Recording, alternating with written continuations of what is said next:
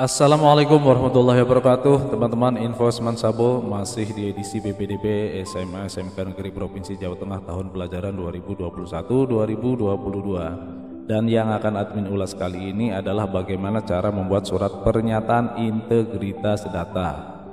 Surat pernyataan integritas data itu merupakan surat penting yang berkekuatan hukum dan mewakili berkas-berkas lain yang diunggah di sistem BPDB artinya berkekuatan hukum.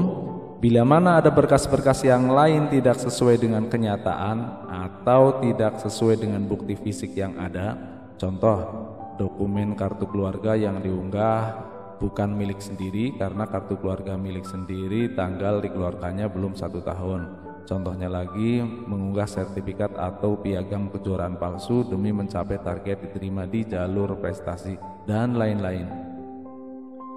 Maka apabila ada calon peserta didik yang melakukan hal tersebut, tentu akan ada sanksi yaitu bagi peserta didik yang diterima maka akan dikeluarkan oleh satuan pendidikan meskipun yang bersangkutan diterima dalam proses seleksi. Dan tentunya sanksi itu diberikan berdasarkan hasil evaluasi sekolah bersama dengan komite sekolah dan cabang dinas pendidikan di wilayah masing-masing sesuai dengan ketentuan peraturan perundang-undangan yang berlaku. Baik teman-teman info Sabo, sesuai dengan juknis PPDB pada halaman terakhir juknis ada contoh surat keterangan integritas data dan sudah admin ketik ulang yang kurang lebih bentuknya seperti ini.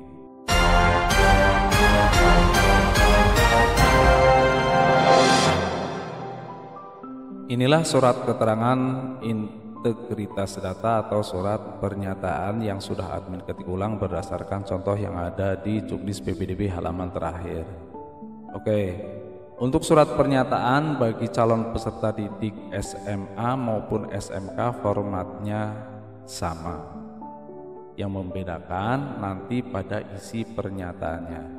Kalau begitu mari kita langsung saja isi surat pernyataan ini dimulai dari nama, tentunya nanti nama kalian masing-masing dan yang admin contohkan adalah misalnya nama nama calon peserta didik Jaya Abadi.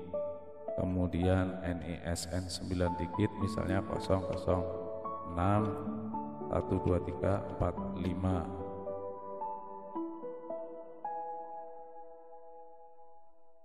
Oke, NISN misalnya 0061234456 Kemudian alamat jalan bagi yang punya alamat jalan bisa ditulis alamat jalan, punya dukuh bisa ditulis dukuh, punya gang ditulis gang. Misalnya alamat jalan Jalan Maju Makmur misalnya. Nomor 15 RT 02 RW 06 Kelurahan Maju Jaya kemudian Kecamatan Maju Sentosa Kabupaten Maju ya ini contoh ya teman-teman. Jadi menggunakan nama baik nama calon peserta didik maupun nama alamatnya fiktif yang bertanda tangan di bawah ini nama Jaya Abadi NSN 0061234456 alamat jalan Jalan Maju Makmur nomor 15 RT 2 RW 6 Kelurahan atau Desa Maju Jaya Kecamatan Maju Sentosa Kabupaten atau Kota Maju Bahagia. Ini sebenarnya antara kelurahan dan desa ada perbedaan teman-teman tapi perbedaan istilah kelurahan dan desa tidak admin bahas berikutnya masuk ke pernyataan dengan ini menyatakan bahwa seluruh data dokumen yang saya pergunakan dalam keikutsertaan pada penerimaan peserta didik baru PPDB SMA Negeri atau SMK Negeri Provinsi Jawa Tengah tahun ajaran 2021-2022 dapat saya pertanggungjawabkan kebenaran data dan faktanya maupun cara perolehannya. Kedua, saya dalam kondisi sehat untuk pemenuhan aspek kesehatan yang dipersyaratkan dalam PPDB SMK pada pilihan kompetensi keahlian. Demikian surat pernyataan ini kami buat dengan sesungguhnya dan penuh tanggung jawab. Dan apabila di kemudian hari diperoleh kesimpulan bahwa surat pernyataan ini tidak benar, maka saya siap menerima sanksi dikeluarkan dari sekolah meskipun saya dinyatakan diterima dalam seleksi PPDB tahun ajaran 2021-2022. Berikutnya, tulis tempat pembuatan surat dan tanggal pembuatan surat dalam hal ini nama desa masing-masing misalnya Maju Jaya. Tanggal 14 14 Juni 2021 kenapa 14 karena nanti jadwal ajuan akun dibuka mulai tanggal 14 namun demikian seandainya di sini ditulis tanggal 11 12 13 admin rasa juga tidak masalah nggak apa-apa. Oke yang admin contohkan tanggal 14 Juni 2021 Lalu yang membuat pernyataan di sini titik-titik ini di sini tentunya calon peserta didik yang membuat pernyataan. Tadi atas nama Jaya Abadi. Kemudian di sebelah kirinya mengetahui orang tua atau wali, misalnya Jaya Sentosa. Oke. Nah, setelah dokumen ini diketik ulang, ditulis, nanti berikutnya dicetak. Untuk tulisan ini bisa dibuang saja, tapi sebelumnya kita baca keterangan bahwa di sini ada keterangan pilih yang sesuai.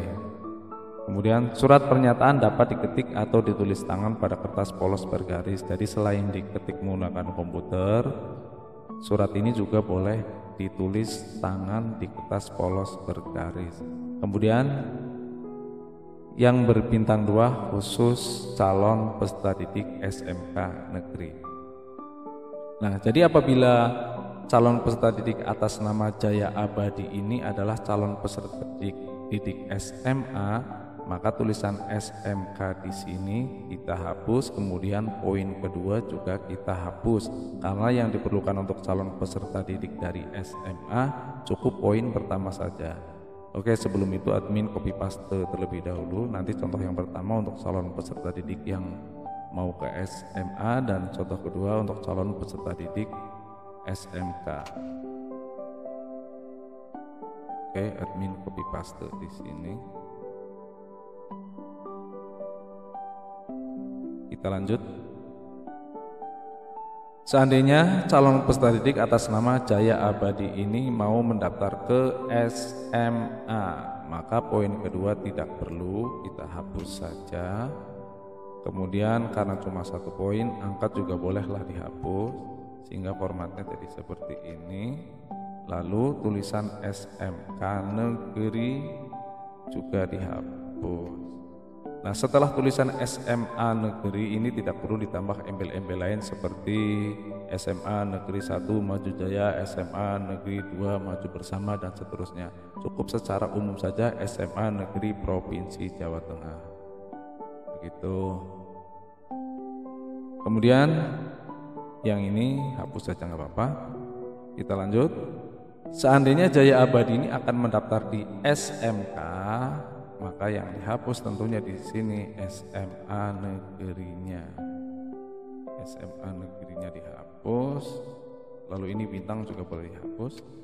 Dan jangan diberi embel-embel lain misal SMK negeri 1 Maju Jaya SMK negeri 2 Maju bersama tidak usah masih secara umum SMK negeri Provinsi Jawa Tengah.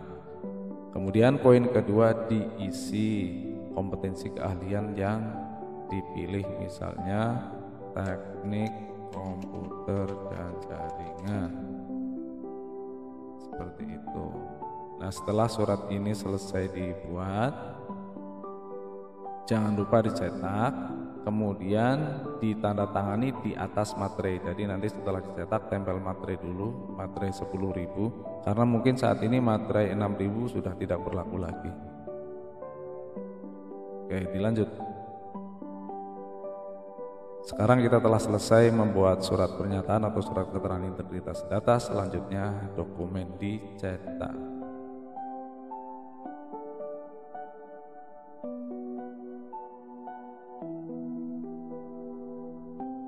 Oke teman-teman kita lanjut dan inilah hasil cetak daripada fakta integritas atau surat keterangan integritas data. Ini hasil cetaknya. Nah jangan lupa setelah dicetak tentunya ditempel materai sehingga hasilnya menjadi seperti ini. Oke setelah ditempel materai kemudian ditandatangani jangan lupa difoto menggunakan HP juga boleh difoto menggunakan HP dengan catatan ketika mengambil gambar surat keterangan fakta integritas ini kamera HP tegak lurus dengan kertas sehingga menghasilkan dokumen yang proporsi ini merupakan contoh surat keterangan integritas data calon peserta didik SMA kemudian yang ini untuk calon peserta didik SMK di mana poinnya masih terdiri dari dua poin. Oke, sudah ditandatangani di atas materai kemudian diketahui dengan uh, diketahui oleh orang tua atau wali. Nah, kemudian untuk fakta integritas SMK karena di sini menyatakan kesehatan dimungkinkan nanti ada permintaan surat keterangan sehat dari dokter. Bisa jadi bisa jadi nanti perlu dilampiri surat keterangan sehat dari dokter.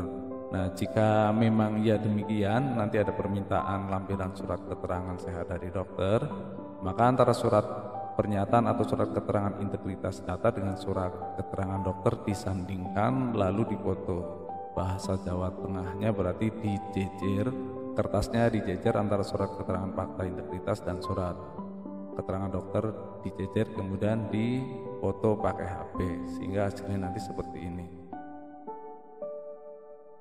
Nah, boleh saja tidak disandingkan tapi tidak bisa format JPEG melainkan format PDF.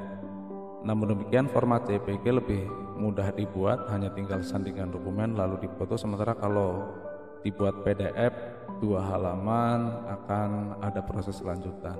Makanya kita buat JPEG saja sehingga antara surat pernyataan dan surat keterangan dokter disandingkan, dicecer lalu difoto. Ini bila mana surat keterangan dokter diperlukan atau dipersyaratkan. Tapi seandainya nanti tidak dipersyaratkan ya cukup seperti ini saja. Baik teman-teman info Sabo ulasan tentang surat keterangan integritas data admin rasa cukup semoga dapat dimengerti dan bermanfaat. Akhir kata salam sukses dan salam semangat menuju Indonesia yang lebih maju dengan niat menuntut ilmu di jenjang pendidikan yang lebih tinggi. Wassalamualaikum warahmatullahi wabarakatuh.